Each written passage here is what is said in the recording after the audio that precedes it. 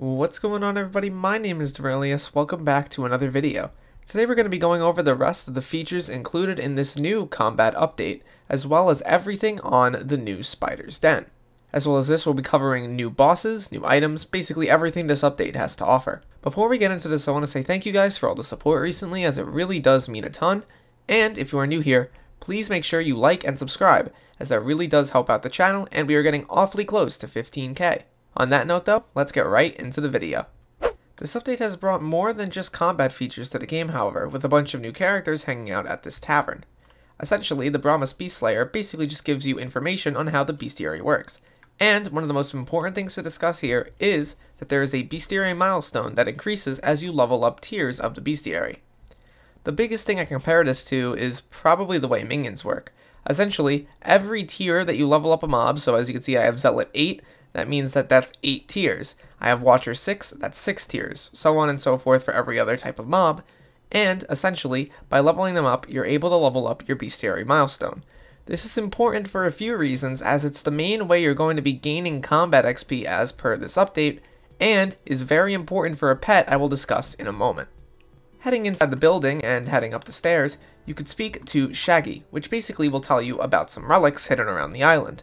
These are relatively simple things, essentially there are 28 of them hidden all around the island, and upon collecting each and every one of them, you will be gaining 10,000 coins per piece.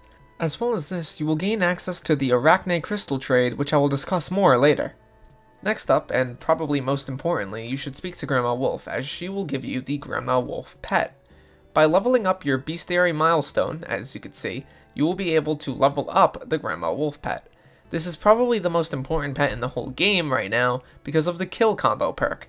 Kill combo allows you to gain buffs for combo kills, pretty obviously. These effects will stack as you increase your combo, and the pet does not need to be spawned in order for combos to be active.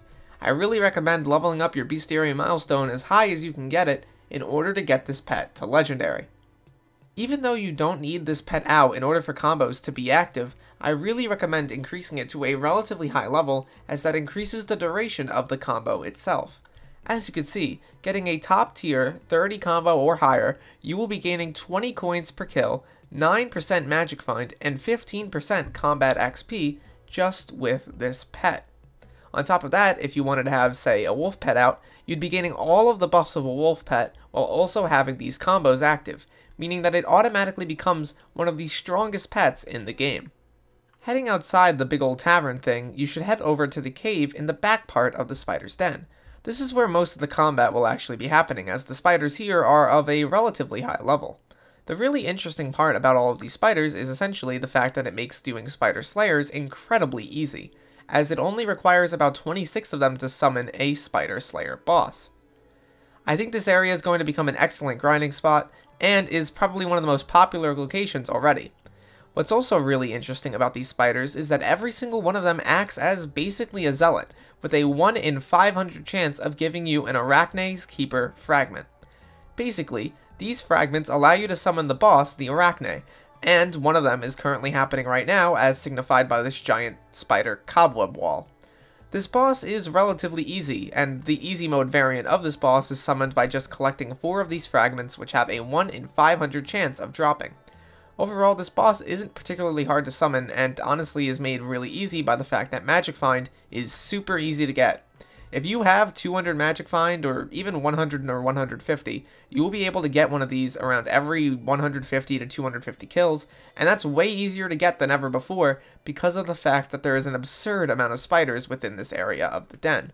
I'm really enjoying the increased mob density in this place. It definitely makes doing slayers and just generally grinding out combat XP way easier. In terms of the boss fight itself, there isn't really too much I have to go over when it comes to actually fighting it. The boss is relatively simple. The easy mode has 1 million health, and the hard mode has 20 million. For every 33% health that the boss falls, it will summon a bunch of mini mobs to basically take care of. These mobs will basically cause the main boss to despawn and reappear once most of them are killed, so don't worry about attacking the boss when these mini bosses are out.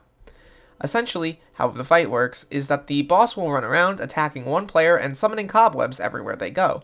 These cobwebs aren't too difficult to avoid, although they're mainly meant to be annoyances. And, as well as this, the boss has a large level of combat and damage resist. It does not allow you to use Hyperion or any other magic weapons. It doesn't even allow you to use weapon abilities. You can only melee the boss down.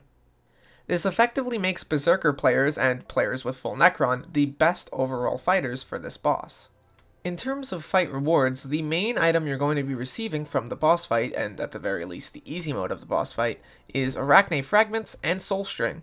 Soul String is used to craft a variety of bows that I will get into in a little bit, but essentially just use it for now and keep it in your inventory.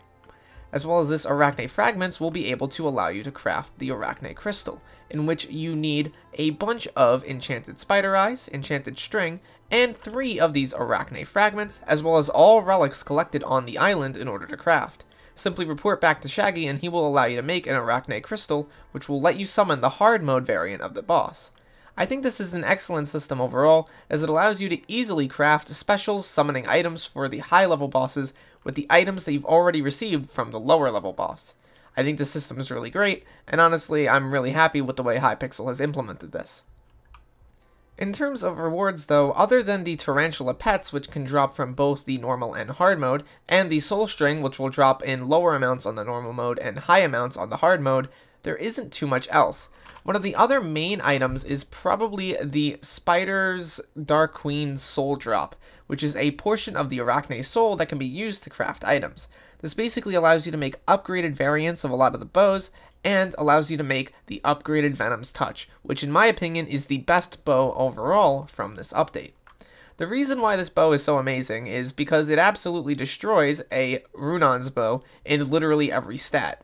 Aside from the fact that you can't necessarily make it mythic, it has almost double the damage, almost double the strength, and basically the rest of the stats are really good as well, as it fires a volley of 5 arrows. The one issue with it, at least at the moment, is that it doesn't seem to allow you to put on aiming. I don't know if this is a bug specifically with aiming and this update, or if it's something very specific to this bow. Even without aiming, however, when you direct hit a mob, as you can see, I'm doing about 144,000 damage. If I run inside and I hit a similar mob, I do about 30,000 damage with my Runaan's bow, which is about one-fifth the total damage. This bow is certainly one of the best non-dungeon items in the game, and honestly will definitely make dragons a lot easier to fight, especially at close range. I think this update is going to be really amazing for people who like using bows and archery, and honestly I'm just super excited to see new bows coming to the game. Overall though, this is definitely one of the best updates Hypixel Skyblock has received in a long while. A lot of new features, a lot of new items, and basically a whole new island to explore. I really can't ask for much else. The new boss is pretty fun overall, even if it gets a little bit boring after a while, but you don't have to grind it too long in order to get all the items that you want, which is basically just going to be the Venom's Touch. Aside from that though, the rest of the items included are pretty interesting if nothing else, and on top of that, the Grandma Wolf pet is one of the best overall pets in the game, allowing you to access kill combos, which are just amazing. Overall though, once again, thank you so much for watching this video. I'll see you all in the next video, and yeah, peace out everybody.